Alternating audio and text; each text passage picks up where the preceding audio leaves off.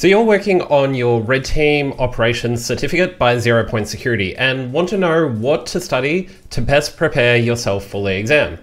Well, you're in luck because this is exactly what we're going to touch on. I will also provide some additional resources to learning materials that I've found quite helpful in preparation for the exam as well. But remember, there will be no spoilers.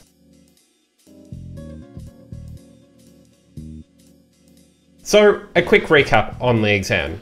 This is an assumed breach, so there will already you will already have a low privilege access to a workstation. So this includes credentials, remote desktop, uh, along with your attack stations, so both your Windows and Kali Linux attack stations. The goal is to reach flag 6 or further out of a total of 8 flags. It's a sequential exam, so you'll basically need to get flags 1 through to 6 anyway, so simply submit the flags in the SnapLabs page and that's it. No report, nor is there any proctoring. You will have either 4 calendar days or 48 hours of lab time to do the exam, so whatever elapses first. So you can structure this in whatever way that you like and works best for you. From my experience, this was plenty of time.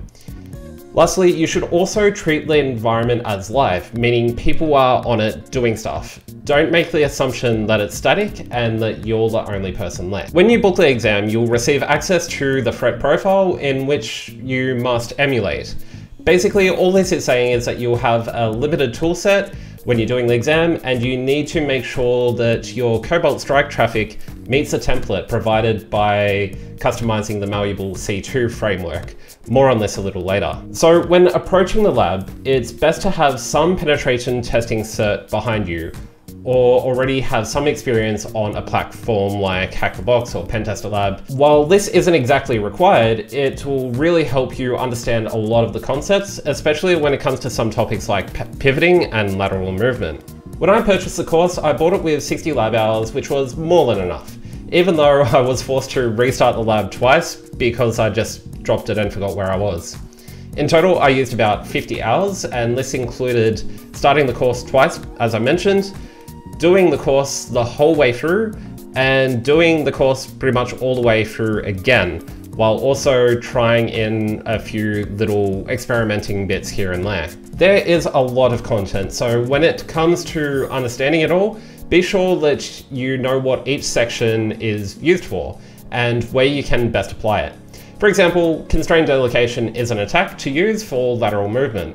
So I suggest building a cheat sheet full of commands and enumeration that you would use for this attack. Not necessarily every command in the chain to carry it out, but those to enumerate and determine if there is a valid path forward.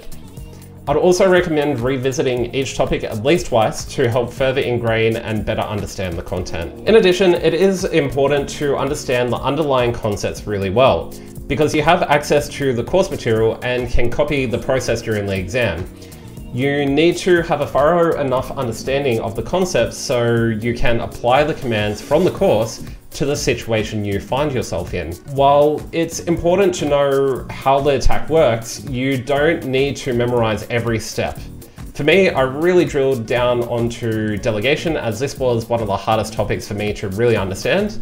And I've actually attached an article attacking Kerberos constrained delegation, which goes a bit more into detail of the background of delegation and how you can better understand these concepts a bit more. As you might expect, the exam has a heavy emphasis on pivoting and lateral movement. So you'll need to have a good understanding of networks, firewalls, and all the logic behind pivoting. So this includes reverse port forwards, SOCKS proxies, and all that good stuff as this can get really confusing. I've also attached an article exploring hidden networks with double pivoting in the description, which I really found helpful for my PTP exam, but the concepts are very applicable here too. Malleable C2 is another important topic as without a proper malleable C2 profile, you can't even get your beacon to run correctly. So the course material is a bit light when it comes to this topic, and I've also attached another article, uh, CS beacon communication analysis, which helps you find and tune in the development of your own profile and again helps you understand the concepts a bit more. This is in Chinese, so be sure to translate it if you can't read Chinese.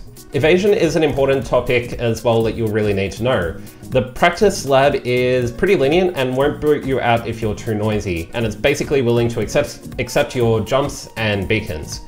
I suggest if you have time to update the group policy on Defender and the firewall for each, machi each machine so you can practice getting your beacon to bypass endpoint protection and act within act a bit more stealthy. I've included two more resources here in the description as well. Lastly, I recommend brushing up on some Windows commands for Defender and Firewall and other com common components as rudimentary understanding of how, how these components protect Windows is also very beneficial. So this is mostly all to say that understanding the underlying components and doing a little bit more extra research with some of the course material will go a long way in helping you pass the exam. This will help you know what tools you have at your disposal at any time during the exam and help you provide a clearer path forward to your objective. But overall, if you only use the course material and nothing else, you should still be able to succeed. There are no foreign concepts that are introduced during the exam material which are not in the course. Overall, I found the exam was quite fun and I passed without too much of a headache. If you're keen to take this course, I actually have an affiliate link in the description. Buying the course with this link goes a long way to help support this channel. So thank you for watching, please leave a like and subscribe if you found it helpful, and if you have any further comments about the exam, feel free to leave them in the comment section below, but keep it spoiler free. And good luck in your exam.